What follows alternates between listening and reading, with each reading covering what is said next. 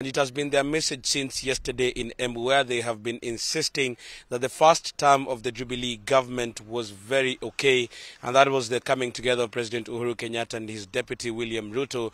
But they are insisting that they cannot take credit, neither can they associate themselves with whatever has happened in the second term, that is between 2017 or, or rather 2018 until now, when most of the prized possessions and prized goods that the commodities that we need in our houses, be it unga, be it cooking oil, have all shot up, insisting that even for the first time the price of salt has gone up. So they are saying that they are disassociating themselves with uh, President Uhuru Kenyatta, and they are saying that immediately he got a new wife in the name of uh, Raila Odinga, he made him and actually used the word appointed him as the deputy president then that is where things started going haywire. Be it Kindiki, be it the deputy president himself, William Ruto, who has said categorically calling on the people of Tharaka-Nithi to support him and his and his whole team. He is saying that if he is not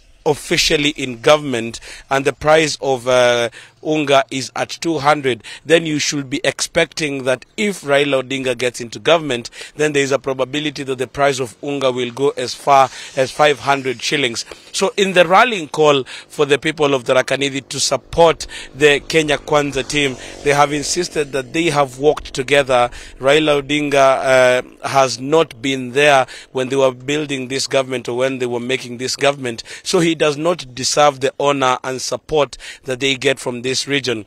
Another point, Olive, that has come out strongly is that in Tharaka, they have decided to have about three stops. Why is this? They started in Mukothima, then came all the way to Marimanti, and they have gone to another point yet in Tharaka. And the reason being is that remember that uh, Kindiki was one of those that was uh, touted as a contender for the deputy president position within the Kenya Kwanza team. So they had to go and explain why he did not get that position and why he decided to stay back within the fold and yet support Deputy President William Ruto, who Kindiki himself had described as a friend of over 20 years. So they have tried, uh, Rigathi Gachagua himself, taking about five minutes of his speech, saying how the race was between him and Kindiki and why uh, Deputy President William Ruto had to choose him, saying that one of the things was that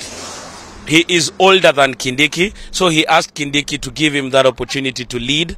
He was uh, then they have said that they will give Kindiki a bigger job should they take government. So it was one of those issues that came out very strongly in Tharaka. Right now they will be moving into Chuka, then going into Nithi because this county has three constituencies and they will have to go through all of them today. So in also finishing, uh, Olive, is that Deputy President William Ruto, so has Kindiki, they have insisted that there is a possibility that they have a deal that immediately uh, Deputy President William Ruto and Rigathi Gachagua finish, then they will endorse Kindiki so that they make sure that this region is uh, is occupied and also remains under their guard. So is it just a political statement that has been made to calm the waters in that region where he comes from? Well, it can only be a question of wait and see. So today they have three other stops before they make one major rally in Chuka town, a place that is supported by the current governor Muthomi Njuki. But we are staying here and we'll be keeping tabs. Tomorrow is Meru, then they move into Isiolo. Olive. All right, thank you very much, Kennedy Mureithi. We wait to see what else will be said.